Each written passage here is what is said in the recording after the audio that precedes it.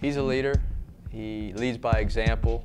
He's the hardest, one of the hardest workers on the team as far as effort goes in practice and in workouts.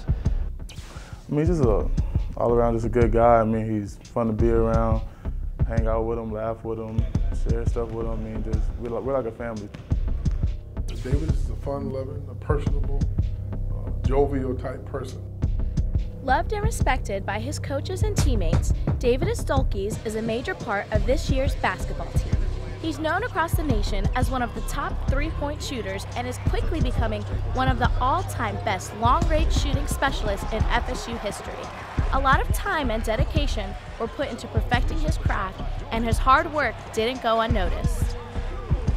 After his freshman year, he, he worked all spring and summer on his hand position of the basketball and how he released the basketball with his shooting hand and his offhand and, and uh, improved his follow through dramatically. So he, uh, he made some technique changes, but he really deserves the credit because he spent hours and hours and thousands of shots to, uh, to really uh, improve.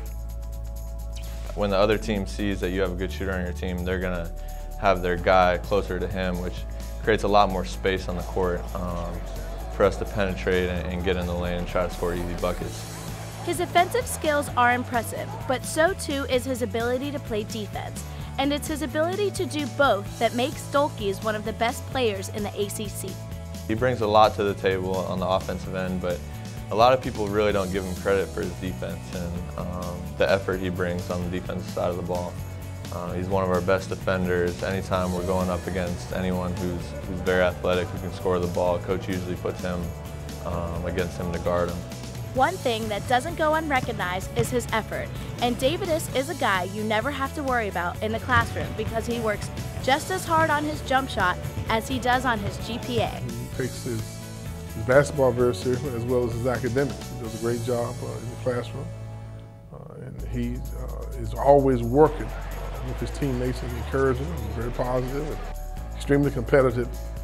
But there's a story behind all of his great achievements at Florida State. Dulkys' determination to become successful has always pushed him to work hard to reach his goals.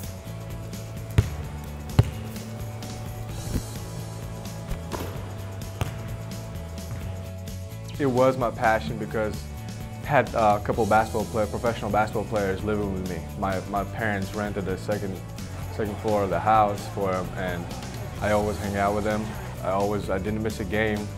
Well, actually I did miss three in six years counted it because it was very important for me, but it was just something I wanted to do. And I saw myself playing in the future and I keep reaching that goal. To fulfill his dreams, he knew he would have to move to the United States to pursue a career in basketball. In Lithuania, you could be a star basketball player, but your grades would suffer, and that was not good enough for Deividas. The transition was difficult at first, but well worth it. Deividas had a number of schools recruiting him, but in the end, it came down to family.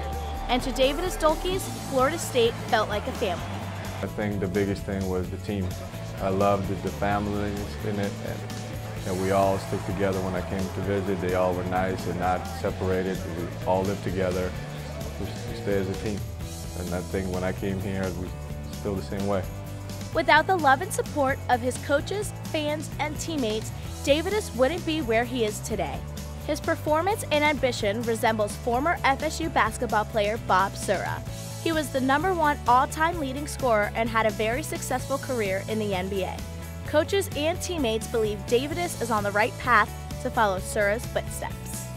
Deividas is eager to learn. He's kind of like a sponge. He's always asking questions. He's in, uh, in the office trying to get films and tapes of practices and in games so that he can go out and become the best basketball player he can become. He's a very coachable youngster. He's been very pleasant to work with. I'm Crystal Miner for Seminole Sports Magazine.